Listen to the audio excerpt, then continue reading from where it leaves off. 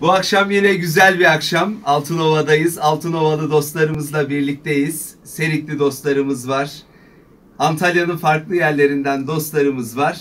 Ama burada iki tane Kıbrıs gazimiz var. Birisi ev sahibi Ahmet Akar abimiz. Birisi de Hasan abimiz.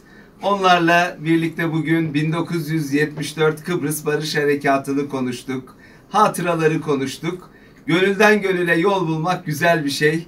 Bugün akşamda böylesi güzel gönül yolları yaparak geçirdiğimiz bir akşam oluyor. Akar ailesine, dostlara çok teşekkür ediyoruz.